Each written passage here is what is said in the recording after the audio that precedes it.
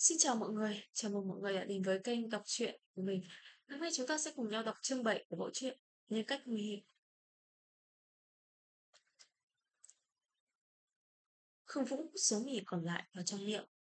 Tôi đang nhìn viết sao. Quý Minh Nhuệ không hiểu nổi. Đã nhìn mấy ngày rồi còn chưa đủ hả? Nhìn ra được gì rồi?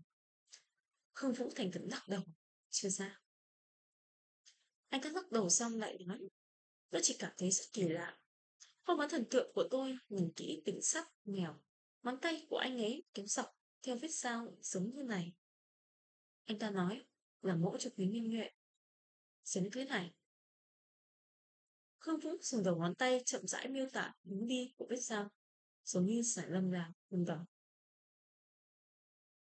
Có lẽ nhóm người quý minh nhuệ không chú ý đến chi tiết nhỏ này. Nhưng Khương Vũ mang trong lòng sự chú ý quá độ với thần tượng nhạy bén nhận ra những động tác tuyệt xíu không đáng nói này. Khương Vũ gãi sau gáy, hình như anh ấy rất để ý những vết sao này. Anh ấy đang làm anh ấy đang nhìn gì?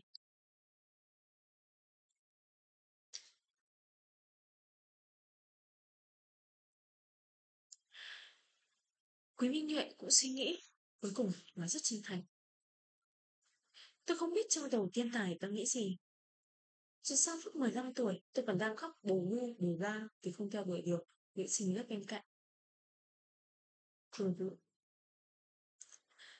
Quý Minh huệ quay lại chỗ ngồi trong quá trình chờ mình nở.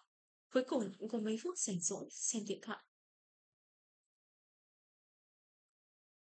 Anh ta gửi một tin nhắn qua cho người anh em tốt của mình.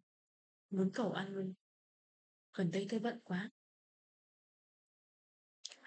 Người nghiêm tốt của anh ta nhanh chóng dừng hành động quý khiến anh ta tỉnh táo lại. Bận thì đừng gửi tin nhắn cho tôi. Cậu nghe câu nói của mình đi. Có còn là người không? Nguyễn Minh Nhuệ gửi liên tục hai tin.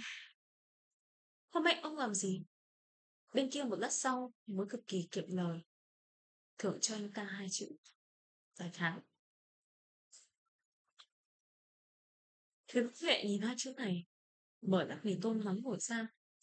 Thầm nói người anh em của mình vì để trị bệnh tôi dịch sẽ mà cố gắng thật sự. Hôm nay, phòng tư vấn tâm lý vẫn mở cửa bình thường.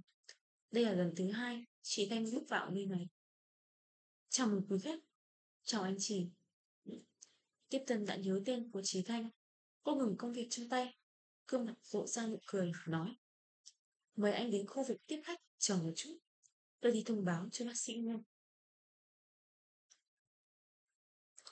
Chị Thanh Vân Vê khớp ngón tay của mình cất ướp vân tay. Nhíu mày nhìn thoáng qua khu vực tiếp khách toàn là mèo kia. Anh không thích ở cùng với đám nhập sườn này. Khu vực tiếp khách vẫn như thế. Vài chỗ trống, mấy con mèo nằm sấp ngủ. Có con dường như vẫn nhận ra anh. Mèo mèo một tiếng với anh. Tầm nhìn của Trí Thanh giờ lên mấy độ, lúc này mới phát hiện, so với tám lưu sử này, thì khu vực tiếp khách còn có một thứ đáng ghét hơn đang ngồi.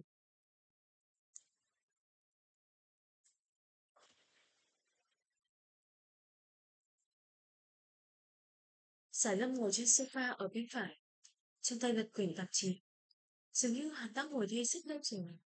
Lúc lúc bắt lên nhìn về phía Trí Thanh, cho người ta có ảo giác, tôi đã chờ cậu rất lâu.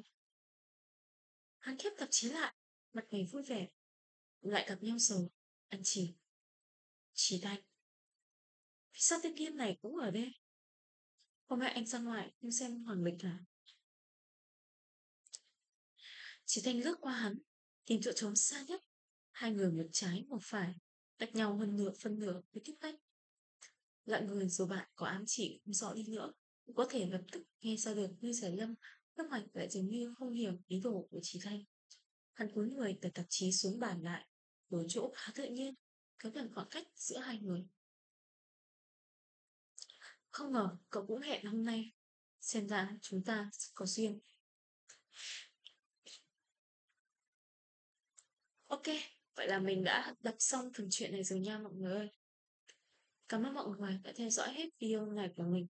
Còn bây giờ thì xin chào và hẹn gặp lại mọi người ở những video đọc truyện tiếp theo của mình nha. Ok. Bye bye mọi người.